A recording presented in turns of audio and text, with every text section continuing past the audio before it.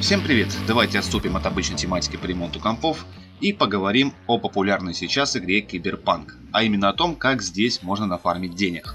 Ну и естественно без использования читов, а именно внутриигровыми способами. В игре Киберпук разработчики придумали огромное количество всяческих ништяков, таких как автомобили, импланты, оружие легендарное и многое-многое другое. И чтобы полностью и хорошо прокачать своего персонажа, нужно много денег. А как известно, в Киберпуке достать внутриигровую валюту не так уж и просто, то есть здесь ее очень мало. И даже пройдя игру полностью, выполнив все задания, все миссии, уничтожив все бандитские группировки, я все равно заработал очень мало внутриигровой валюты. И в принципе мне ни на что не хватало. В общем, давайте не будем тянуть кота за уши и начнем именно уже самого способа. Для начала я рекомендую попасть в это место на карте, которое я указываю. Это место находится на пересечении районов Ароя и Честер-Хилл. Здесь еще рядом будет почтомат, нам к нему.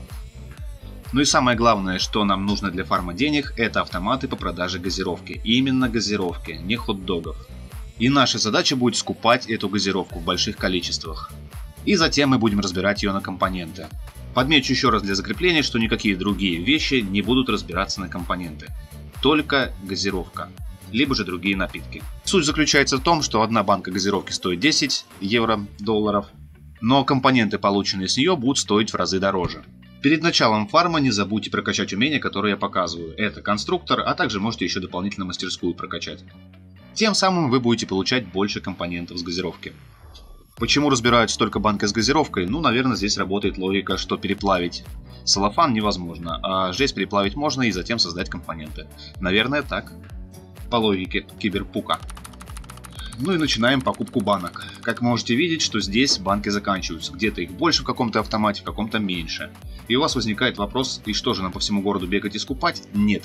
Отходите от автомата на какое-то количество шагов, на какое-то достаточно большое расстояние возвращаетесь, и все здесь спаунится заново.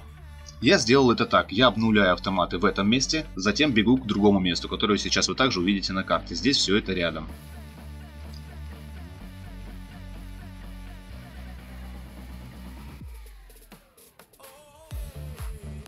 Теперь скупаете все в этих автоматах, и когда вы вернетесь к тем, они заново будут заряжены. Кстати, вы могли заметить, что я закупаюсь ровно на 1000 евро-долларов. О, пушку нашел. Продам. Ну а теперь возвращаемся к нашим терминалам и пойдем к почтомату, чтобы продать то, что мы имеем. А вот эти оба места на карте, то есть вы будете так бегать по кругу и фармить деньги.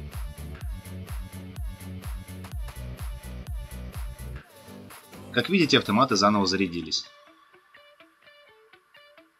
Ну а теперь идем к почтомату, но прежде чем что-либо продавать, нам нужно разобрать наши банки. Обратите внимание, что я потратил ровно 1000 на газировку и компонентам в данный момент у нас по нулям. А это вам пример, буррито разобрать мы не можем. Я их купил случайно, сейчас продам и куплю газировку.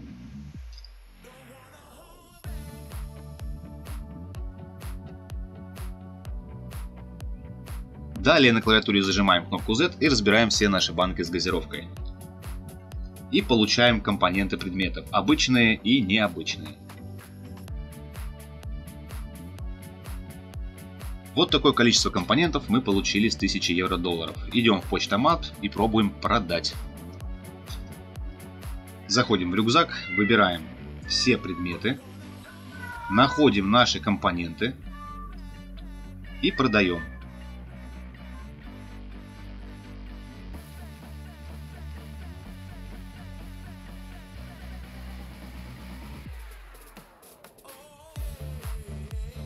Как вы можете заметить, с 1000 у нас получилось 6200, то есть в 6 раз больше, чем мы имели.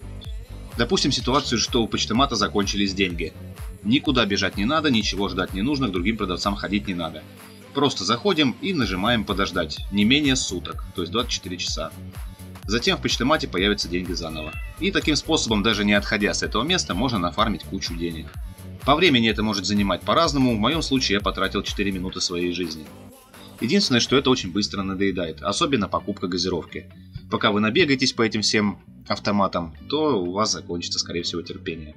Но если вы готовы на такие жертвы, то, пожалуйста, вот вам способ. Я надеюсь, что объяснил достаточно его подробно и понятно.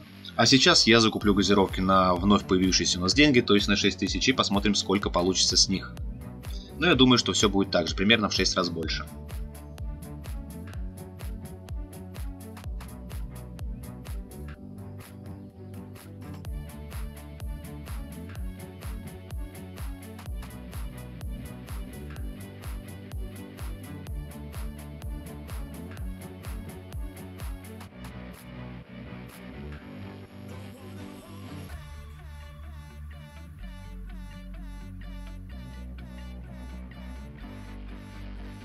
Как видите, я все подготовил. Теперь у меня осталось 7 долларов.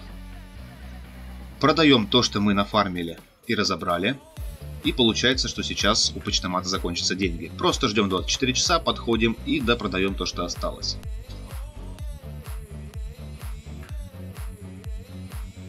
И теперь у нас получается 33 тысячи. Ну да, практически в 6 раз больше.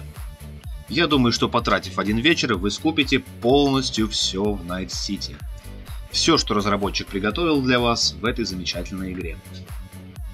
Как вы могли заметить, у меня на карте нет уже никаких заданий. Я прошел игру вдоль и поперек. Прошел абсолютно все. Уничтожил все бандитские группировки, даже в тех местах, где они были не отмечены. И по сути, фармить деньги собирать мне здесь больше негде. Есть еще парочку способов с миссиями, одну из них чуть позже покажу. Но в целом, кроме этого способа, денег без читов здесь взять негде. А вот еще один способ, достаточно прибыльный. Вам понадобится миссия, где вы у бомжей заберете ноутбук, а далее придете к капсуле. В капсуле будет лежать картина. Картина это по сюжету с Луны, и стоит она приличных денег по-моему, около 5000 евро-долларов. Продавая ее продавцу или почтомату, вы сможете выкупить ее обратно за 5 долларов. Естественно, каждый раз циклично получать так 5000. То есть продали, купили, продали, купили.